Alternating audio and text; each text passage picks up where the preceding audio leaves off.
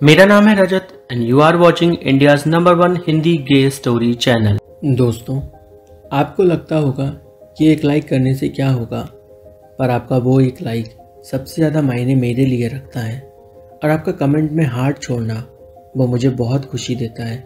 साथ ही आप सभी लोगों से गुजारिश है कि प्लीज़ चैनल को सब्सक्राइब कीजिए और नोटिफिकेशन बेल को ऑन कर लीजिए। अर्जुन सर अपने स्टूडेंट जतिन के दिलासा देने के बाद काफ़ी शांत महसूस कर रहे थे। उन्होंने जतिन को थैंक यू बोला और फिर टाइम पूरा होने पे वो वहाँ से चले गए। अब वो हल्का महसूस कर रहे थे। वो खुलकर रो चुके थे। उन्होंने खुद को समझाया, जो होता है, अच्छे के लिए होता है। अब रवि सर को उनकी ज़िंदगी में नहीं आना है तो वो क्या कर सकते हैं? उन्होंने फिर से खुद को हिम्मत दी और अपनी डेली ट्यूशन्स को कंप्लीट करने के बाद वो अपने घर पे गए। माँ ने दरवाज़ा खोला और बोली, आज लेट हो गई बेटा, देख कौन आया है? अर्जुन सर रवि को देखकर हिल गए। बोले, सर, आप आप यहाँ कैसे? बताइए, कोई काम था? रवि सर बोले, यार, कैसे बात कर रहे हो? इतना फॉर्मल तो ना हो मेरे साथ। ऐसा भी क्या कर दिया मैंने? मैं तो बस तुमसे मिलने आया था, तुमसे बात करने आया था। अर्जुन सर ने कहा हाँ बोलिए सर, मैं सुन रहा हूँ आपको। रवि सर बोले, तुम्हारे कमरे में चले? अर्जुन सर बोले, वहाँ जाके क्या करेंगे आप? जो बात करनी है, वो यहीं कर लो। आपने वैसे भी कहा आप बात करने आए हो तो करो बात। रवि सर बोले, नहीं, मुझे अकेले में बात करनी है तुमसे। अर्जुन सर ने कहा, बोलो सर, मैं सुन रहा हूँ आपको। रवि सर ने कहा, चलो ना तुम्हारे कमरे में चलते हैं, प्लीज़ चलो। मैं बार बार कह रहा हूँ, अब तो चलो। अर्जुन सर ने कहा, यहाँ क्या दिक्कत है आपको? रवि सर बोले, यहाँ माँ है, उनके सामने कैसे बोलूँ मैं? अर्जुन सर ने कहा, वैसे भी आप कौन सा कुछ ऐसा बोलने वाले हो, जो माँ सुन नहीं सकती? ये सब देख के माँ बोली, क्या हुआ है बेटा? क्या हुआ तुम दोनों के बीच? यूँ कुत्ते बिल्लियों की तरह क्यों लड़ रहे हो? भाइयों जैसे हो तुम यार, और लड़ रहे हो। अर्जुन सर हंस के बोले, सही कह रही हो आप माँ। हम भाई जैसे ही थे, पर शायद अब नहीं। माँ ने कहा, तुम दोनों थोड़ा ठंड रखो। शांति से एकांत में बात करो। मैं बाहर जाती हूँ। अर्जुन सर ने माँ को रोका और बोले कोई ज़रूरत नहीं आपको बाहर जाने की। ऐसा कुछ भी नहीं है। पर माँ बोली, नहीं, मैं जा रही हूँ और जब मैं वापस आऊँ, सब कुछ सुलझ जाना चाहिए। वो घर के बाहर गई और बाहर से ही कड़ी लगा गई। ये कहते हुए, बिना सुलझाए कोई बाहर नहीं जाएगा। रवि सर, अर्जुन सर की तरफ़ बढ़े। उन्हें अपनी बाहों में लेना चाहा, पर वो पीछे हट गए। रवि सर ने पूछा आखिर दिक्कत क्या है? क्या मैं तुम्हें बाहों में नहीं भर सकता? अर्जुन सर बोले, क्यों भरना है आपको मुझे बाहों में? पर रवि सर ने उन्हें अपनी बाहों में भर ही लिया। अर्जुन सर छटपटा रहे थे। वो पूरी कोशिश कर रहे थे कि अपने आप को छुड़ा सकें। और रवि सर उन्हें अपनी बाहों में भरकर शांत कर रहे थे। रवि सर ने कहना चालू किया, अर्जुन देखो, कल क्या होगा? मुझे नहीं पता। पर आज मैं तुम्हारा साथ चाहता हूँ और आगे भी चाहूँगा। तुम प्लीज़ ठंडे दिमाग से सोचो एक बार। समाज में मेरी एक इज़्ज़त है। और अगर किसी को हमारे रिश्ते के बारे में पता चल गया तो क्या इज़्ज़त रह जाएगी मेरी? और एक बात मैं तुम्हें बताना चाहता हूँ कि मुझे सुमन और तुम दोनों ही पसंद हो। अर्जुन सर ने हैरानी से पूछा अभी सुमन कौन है? रवि सर ने कहा, मेरी होने वाली पत्नी। पर ऐसा नहीं है कि तुम्हारी वैल्यू मेरी नज़रों में कम हो गई है। तुम मेरे लिए अनमोल हो और हमेशा रहोगे। पर सुमन के साथ भी तो मुझे रहना ही होगा। अर्जुन सर टोकते हुए बोले अच्छा सुमन के साथ आप बच्चे पैदा करोगे और समाज में अपनी इमेज बनवाओगे। और मेरा क्या रवि ने कहा तो तुम भी शादी करो ना। मैंने तुम्हें रोका है क्या? हम अपना रिश्ता यूँ ही कंटिन्यू रखेंगे। किसी को पता ही नहीं चलेगा। मैं तुमसे आज इतना प्यार करता हूँ, कल भी इतना ही करूँगा, बल्कि इससे भी ज़्यादा।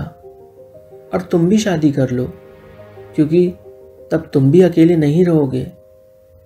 अर्जुन सर हँसते हुए बोले, मेरे अकेले रहने की परवाह आप ना करो। माँ है मेरे लिए। और रही बात आपके साथ कंटिन्यू करने की तो अब मुझे सोचना पड़ेगा। क्योंकि इस तरह का रिश्ता तो मैंने कभी चाहा ही नहीं था। रवि सर ने अर्जुन सर को अपनी गोद में बिठाना चाहा और बोले, मेरी आँखों में देखो। क्या तुम्हें इनमें तुम्हारे लिए प्यार नहीं दिखता? क्या तुम्हें नहीं लगता कि तुम मेरे लिए सब कुछ हो? अर्जुन सर ने आँखों में देखा और बोले, प्यार का तो मैं कह नहीं सकता, पर कीचड़ बहुत दिख रहा है आँखों में आपकी। और अब क्या कहूँ? कुछ कहने और सुनने को बाकी ही कहाँ रखा आपने कुछ? रवि सर लगातार अर्जुन सर को समझा रहे थे, और अर्जुन सर भी धीरे धीरे अब पिघलने लगे थे, क्योंकि उन्हें भी ये उम्मीद थी कि चलो, पूरे नहीं तो आधे ही सही। कुछ तो प्यार उन्हें भी मिल जाएगा, रवि सर से। रवि सर ने उन्हें अपनी लैब पे बिठा लिया और उनका सर अपनी तरफ़ किया। दोनों करीब आते गए और दोनों ने आज पहली बार स्मूच किया। किस तो वो पहले भी कर चुके थे। अब अर्जुन सर को भी अच्छा लग रहा था। वो सोच में थे कि चलो कुछ तो मिला एटलीस्ट जब तक शादी नहीं होती, तब तक तो ये मेरे ही रहेंगे। अगले दिन हर रोज़ की तरह अर्जुन सर और रवि सर ने साथ में टाइम स्पेंड किया और दोनों के बीच का रिश्ता और गहरा होता चला गया। लेकिन अब जब वो दोनों साथ होते थे तो बीच बीच में सुमन का कॉल आ जाता था, जिसमें रवि सर अर्जुन का हाथ पकड़कर बैठे तो रहते थे, पर सुमन से इतनी प्यार भरी बातें करते थे, जो कहीं ना कहीं अर्जुन सर को चुप जाती थी। उनका वो बहुत ख्याल रखने की कोशिश करते थे, पर इधर अर्जुन सर के ख्याल को ही दिमाग से निकाल बैठे थे वो। अर्जुन सर काफ़ी समझदार व्यक्ति थे। वो जानते थे कि ये गलत है, पर वो करें भी तो क्या? प्यार इंसान को मजबूर जो कर देता है। उधर ट्यूशन में जतिन उनका बहुत ख्याल रखने लगा था। उसने अर्जुन सर के दिल में अपनी एक अलग जगह बना ली थी। वो उन्हें बिना चॉकलेट मिल्क शेक के जाने ही नहीं देता था। एक रोज़ यूँ ही ट्यूशन के दौरान, जब जतिन की मम्मी ट्यूशन का पेमेंट करने आई तो अर्जुन सर ने बातों बातों में कहा, चॉकलेट मिल्क शेक तो बहुत अच्छा बनाती हो आप। ये सुनकर वो बहुत चक्की हो गई और अर्जुन सर को बस ऐसे ही टकटकी बाँध के देखती रही। अर्जुन सर समझ गए। थोड़ा ऑकवर्ड मोमेंट हो गया था, पर दोनों ने बाद में बात संभाली। अर्जुन सर के जाने के बाद जतिन की माँ ने कहा, तुम मुझे बता नहीं सकते थे कि तुम सर के लिए बनवाते हो। मैं दो ग्लास भेजती रोज। जतिन बोला, मम्मी, क्या आपको सोचना चाहिए कि ये रोज इतनी दूर से आते हैं? तो आपको खुद ही उनके लिए कुछ तो बनाना चाहिए। क्योंकि ऐसे अच्छा नहीं लगता। जतिन की मम्मी को अपनी गलती का एहसास हुआ। उन्होंने जतिन का माथा चूमा और बोली, शुक्रिया मेरे बच्चे, तू इस दुनिया का बेस्ट बेटा है। अगले दिन से अब दो ग्लास दूध आने लगा था। अर्जुन सर को अब थोड़ी झिझक होती थी। इस पर जतिन बोला, सर, कोई नहीं, पी लो। ताकत आएगी और डोले शोले बनेंगे आपके। मैं तो बना नहीं सकता। एक पैर जो ऐसा है, और कोई मुझसे दोस्ती भी नहीं करता। अर्जुन सर को काफ़ी बुरा लगा। उन्होंने जतिन से कहा, तुम मेरे साथ चलोगे क्या, जिम? बोलो, मैं बनूँगा तुम्हारा दोस्त। जतिन ने हाँ कर दिया और बोला, मैं मम्मी पापा से पूछ के बताता हूँ। अर्जुन सर के जाने के बाद उसने मम्मी पापा से बात की। वो रेडी ही नहीं हुए, पर जतिन ने उन्हें समझाया कि ऐसे वो उसे कमज़ोर कर देंगे। इस पर फिर वो आखिर मान ही गए। जतिन ने करीबन रात के दस बजे अर्जुन सर को फ़ोन किया। अर्जुन सर ने नया नंबर देखा तो पहले फ़ोन उठाया ही नहीं, पर दोबारा कॉल आते ही उठाया। जतिन बोला, सर, मैंने बात कर ली अपने मम्मी पापा से, और अब आप ट्यूशन का टाइम बदल सकते हो क्या? अर्जुन सर तो भूल ही चुके थे। उन्होंने बोला, ट्यूशन का टाइम क्यों बदलना है? जतिन बोला, क्योंकि अब मैं रोज़ रात में आपके साथ जिम जो जाऊँगा। अर्जुन सर ने एक पल को सोचा, फिर बोले, ठीक है, कोई बात नहीं, मैं ट्यूशन का टाइम बदल दूँगा। पर चलोगे कैसे? मैं तो पैदल ही जाता हूँ। जतिन ने कहा, पापा है ना? पापा ने कहा है, कार से जाएँगे। और फिर बाद में आपको घर छोड़ते हुए मैं वापस आ जाऊँगा। इधर जिम चालू हो गया था और कार में अर्जुन सर बार बार रवि सर को अपने फ़ोन से फ़ोन करते रहते थे। पर रवि सर सुमन के साथ इतना बिज़ी रहने लगे थे कि वह अर्जुन सर के फ़ोन को भी इग्नोर कर देते थे। एक रोज़ जतिन ने पूछा, सर, क्या आपकी कोई गर्लफ्रेंड है? अर्जुन सर हंस पड़े और बोले, तुम्हें क्या लगता है? जतिन ने कहा, गर्लफ्रेंड है या नहीं, ये तो पता नहीं, पर कोई तो है जिसे आप बहुत याद करते हो। अर्जुन सर मुस्कुरा रहे थे और सोच रहे थे, एक बच्चे को मेरा प्यार दिख रहा है, पर जिस इंसान से इतना प्यार करता हूँ, उसे क्यों नहीं दिख रहा? अर्जुन सर ने जतिन से कहा अच्छा तुम यंग जनरेशन के हो। एक सवाल का जवाब दो। तुम्हें अगर किसी से प्यार हो जाए और वो भी तुमसे प्यार करे, पर रिश्ते को कोई नाम ही ना दे और किसी और से शादी करने को तैयार हो जाए।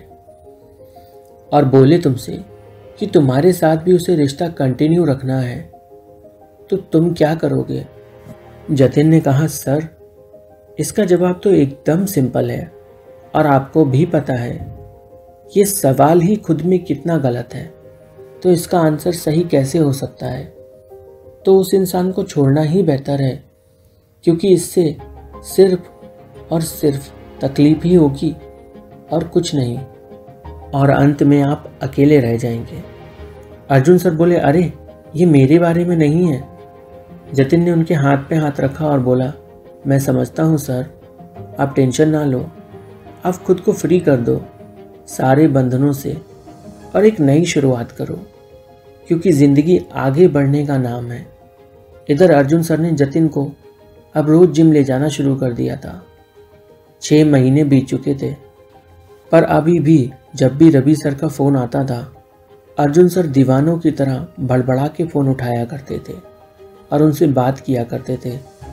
स्कूल में तो वो उनके पास रहते ही थे, पर बात अब ज़रा कम होती थी। कहानी में आगे क्या हुआ जानने के लिए चैनल को सब्सक्राइब कीजिए। वीडियो को लाइक कीजिए और कमेंट ज़रूर कीजिए।